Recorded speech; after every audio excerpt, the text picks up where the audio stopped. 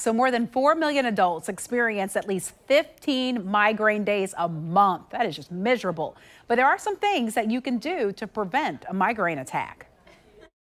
About one in every eight people experience migraines, throbbing headaches that can last for hours or in some cases days.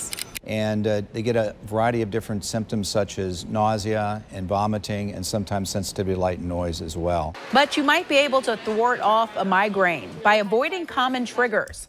First, pay attention to what you eat and drink.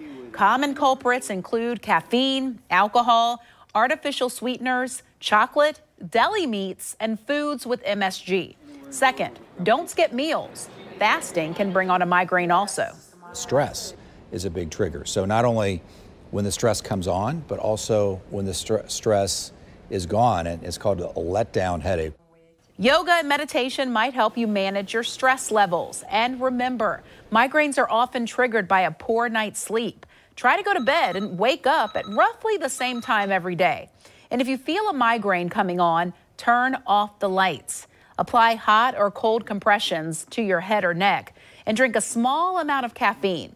A recent study in Europe even found smelling or rubbing lavender oil for 15 minutes can relieve migraine symptoms.